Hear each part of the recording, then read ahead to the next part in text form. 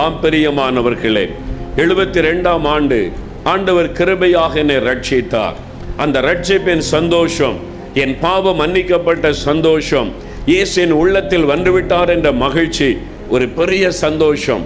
ரட்சிப்பின் சந்தோஷம் வந்துவிட்டது. நான் தேவனுடைய பிள்ளை ஆண்டவர் என்னை மகனே என்று சொல்லிவிட்டார். என் பெயர் ஜீவபுஸ்தத்தில் எழுதப்பட்டு விட்டது எத்தனை பெரிய மகிழ்ச்சி சந்தோஷம். வேதத்தை வாசிக்கும் பொழுது புதிதாக தெரிகிறது. ஜெபம் பண்ணும் பொழுது மகிழ்ச்சியாய் தெரிகிறது. முன்பு கடமைக்காக ஜெபித்தோம். ஏதோ வழக்கத்தின்படி ஜெபித்தோம். ஆனால் இப்பொழுது ஒரு பெரிய சந்தோஷம் மகிழ்ச்சி காணப்படுகிறது. ஆனால் சில மாத காலங்கள் ஒரு ஐந்து ஆறு மாதங்கள் தான் அந்த காரியங்கள் நிலைத்திருந்தது. பழைய பாவங்கள் மேற்கொள்ள ஆரம்பித்தது. சில வாலிபத்தின் பாவங்கள் என்னை ஜெயிக்க ஆரம்பித்தது. வீழ்ச்சிகள் ஏற்பட ஆரம்பித்தது. பரிசுத்தமாய் வாழ முயற்சி பண்ணினாலும் முடியவில்லை. சோதனைகளை மேற்கொள்ள பிரயாசப்பட்டாலும் முடியவில்லை. எந்த பாவம் வேண்டாம் என்று நினைக்கிறேனோ அதையே செய்யும்படியான சூழ்நிலை. இது வேண்டாம் என்று எண்ணினால் அதை செய்யும்படியாக அது என்னை மேற்கொள்ளுகிறது. ஆகவே நான் ஜெபம் பண்ணினேன் உபவாசம் பண்ணினேன் அதற்காக எவ்வளோ போராட்டங்களை சந்தித்து பிரயாசப்பட்டு முயற்சித்தேன். கடைசியில் ஒரு தீர்மானம் பண்ணினேன். ஒரு வாலிபனால் பைபிளில் சொன்ன மாதிரி பரிசுத்தமாய் வாழ முடியாது. ஒருவேளை வயதான காலத்தில் வாழலாம். ஒரு வாலிபனால் வேதத்தில் சொல்லப்பட்டபடி பரிசுத்தமாய் வாழ முடியாது. இது நடக்கிற காரியம் அல்ல என்று நானே ஒரு தீர்மானத்திற்குள் வந்தேன். அந்த சமயத்திலே தான் தேவன் தன்னுடைய பரிசுத்த ஆவியினால் என்னை நிரப்பினார். அந்த அபிஷேகம் அந்த அக்கனியினால் என்னை நிரப்பினார். பரிசுத்தாவினால் நிரப்பப்பட்ட பிறகு என் வாழ்க்கையை ஆவியானவர் மாற்றினார். என்னுடைய எண்ணத்தை மாற்றினார். இல்லை ஒரு வாலிபனால் பரிசுத்தமாய் வாழ முடியும். பாவ சோதனைகளை மேற்கொள்ள முடியும்.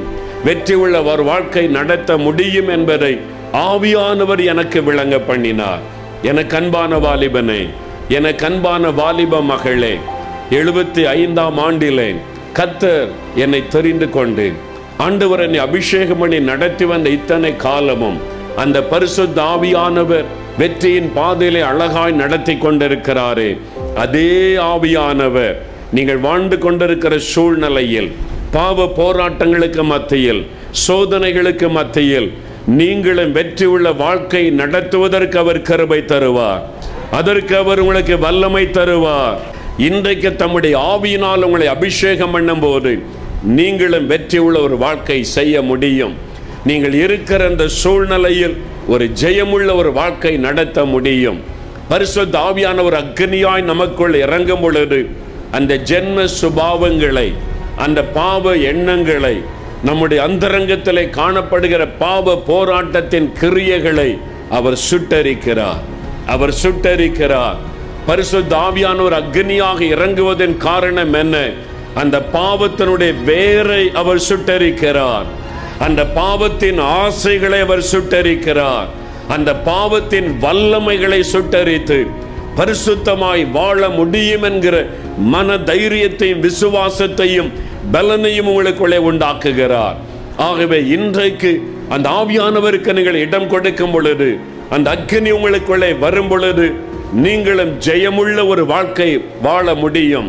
நீங்களும் பாவ சோதனைகளை மேற்கொள்ளுவீர்கள். உங்களுக்கு விரோதமாக எழும்பக்கூடிய பாவ போராட்டங்களை ஜெயிப்பீர்கள். நீங்கள் மெய்யான ஒரு விடுதலை பெற்றுக் கொள்ளுவீர்கள் என்னால் இதை விட முடியவில்லை. என்னால் இதில் இருந்து வெளியே வர முடியவில்லை. இந்த கண்ணி என்னை சிக்க வைத்து விட்டது என்ற ஏதோ ஒரு காரியத்திலே நீங்கள் தவிக்கலாம். ஆவியானவர் எங்கோ அங்கே விடுதலை உண்டு.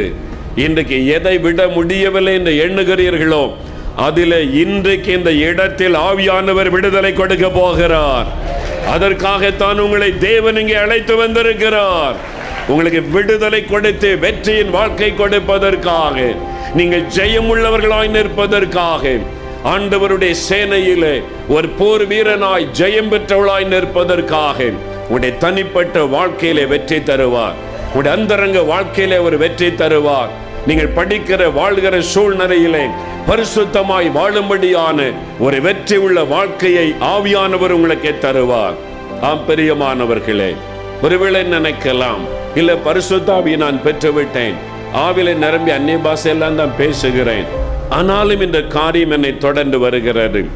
ஆனாலும் இது என்னை மேற்கொள்ளுகிறது என்பதாக நீங்கள் சிலர் சொல்லி கொண்டிருக்கலாம். எனக்கன்பானவர்களே பரிசுத்தாவினால் நிரப்பப்படுகிற அனுபவம் ஒரே நாளோடு முடிந்து விடுவதில்லை ஒரு சம்பவத்தோடு முடிந்து விடுவது இல்லை. அல்லது வாரத்தில் ஒரு நாள் ஆலயத்திலே போய் ஆவிலே நிரம்பி அந்நிய பாஷை பேசுகிறேன் என்கிற ஒரு காரியத்தோடு போய்விடுகிறது அல்ல. அனு தினமும் இந்த பரிசுத்தாவினால் நிறைந்திருக்க வேண்டும். அனு தினமும் பரிசுத்தாவின் அக்னியினால் நீங்கள் நிறைந்திருக்க வேண்டும். ஆவியிலே அனலாயிருங்கள் என்று வேதம் சொல்லுகிறது. ஆவியை அவித்த போடாதர்கள் என்று கத்தருடைய வார்த்தை சொல்லுகிறது. உங்களுக்குள்ள இந்த அக்கினி எரிந்து கொண்டே இருக்க வேண்டும். பரிசுத்த ஆவியாகி அக்கினி எரிந்து கொண்டே இருக்க வேண்டும். எப்பொழுது அது நடக்கும்? தினமும் கத்தருடைய வசனத்திற்கு முன்பாக நீங்கள் போய் நிற்க வேண்டும். வேத வசனத்தை முழங்காலில் நின்று தியானித்து நீங்கள் பரிசு தாவியானவருக்கு இடம் கொடுத்து ஜெபிக்க ஜெபிக்க ஜெபிக்க. அந்த வேத வசனத்தின் வல்லமை உங்களுக்குள்ளே கடந்து வர கடந்து வர நீங்கள் தினந்தோறும் பரிசுத்தத்தின் மேல் பரிசுத்தம் அடைவீர்கள். பரிசுத்தத்தின் மீது பரிசுத்தத்தை ஆவியானவர் உண்டாக்குவார். பாவ சோதனைகளை சுலபமாய் மேற்கொள்ளுவீர்கள். போராட்டங்கள் வரும் சோதனைகள் வரும். ஆனால் அது உங்களை ஜெயிக்காது. நீங்கள் அதை ஜெயித்தவர்களாய் நிற்பீர்கள். பாவ போராட்டங்களை நீங்கள் மேற்கொள்ளுவீர்கள். எதை விட முடியவில்லை என்று சொல்லுகிறீர்களோ அதை சுலபமாய் உதறி தள்ளிவிட்டு நீங்கள் முன்னேறி செல்லுவீர்கள். அந்த வல்லமையை கொடுக்கிறவர் பரிசுத்தாவியானவர் உங்கள் மத்தியில் நின்று நான் பிரசங்கம் பண்ணுகிறேன். எத்தனையோ பிரசங்கங்களுக்கு நான் தெய்வ சமூகத்தில் காத்திருந்து பிரசங்க குறிப்புகளை எடுக்க வேண்டும் செய்திகளை தயாரிக்க வேண்டும். ஆனால் ஒவ்வொரு நாள் அதிகாலையும் நான் தேவ சமூகத்தில் வேத புஸ்தகத்தோடு முழங்கால் படியிடும் பொழுது அங்கே பிரசங்கத்துக்காக அல்ல மற்றவர்களுக்காக பிரசங்கம் பண்ணுவதற்கு வசனம் தாரும் என்பதாக அல்ல.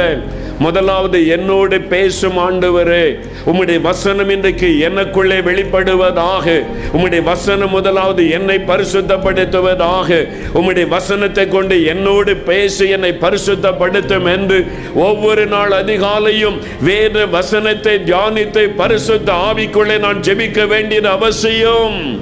அந்த ஆவியானவர் தேவனுடைய வசனத்தின் மூலமாக என்னை சுத்திகரிக்கிறார். என்னை பரிசுத்தப்படுத்துகிறார். பரிசுத்தத்திலே பலப்படுத்துகிறார். இன்னும் பரிசுத்தத்தின் மேல் பரிசுத்தம் அடைய கருமை கொடுக்கிறார். ஆகவே தினந்தோறும் இந்த வேத வசனத்திற்கு முன்பாக நில்லுங்கள். முழங்காலிலே நில்லுங்கள். முழங்காலிலே நின்று கத்தருடைய வசனத்தை வாசியுங்கள். பரிசுத்த ஆவியானவருக்கு இடம் கொடுங்கள். ஆவியிலே நிரம்பி கத்தருடைய வசனத்தை சொல்லி ஜெபம் பண்ணுங்கள்.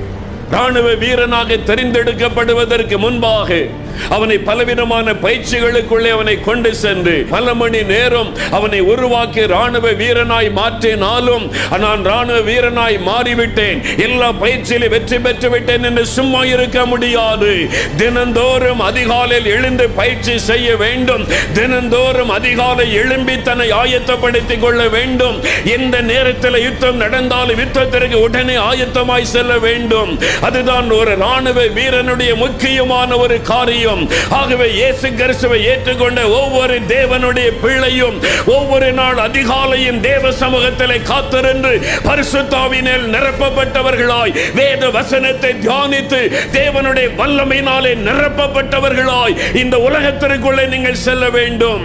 ஒவ்வொரு நாளும் முழங்காலில் நின்று தேவனுடைய வல்லமை பெற்றவர்களாய் உங்களுடைய பள்ளிக்கூடத்திற்கு செல்ல வேண்டும். கல்லூரிக்கு செல்வதற்கு முன்பாய் வேலைக்குள்ளே செல்வதற்கு முன்பாய் உங்களுடைய வீட்டை விட்டு வெளியே வெளியேறி உலகத்திற்குள்ளே செல்வதற்கு முன்பாய் ஒவ்வொரு நாள் அதிகாலையும் வேத வசனத்தை தியானித்து ஆவியானவரால் நிரப்பப்பட்டவர்களாய். இந்த உலகத்திற்குள்ளே நீங்கள் செல்ல வேண்டும். அப்பொழுது நீங்கள் ஜெயம் பெற்றவளாய் இருப்பீர்கள்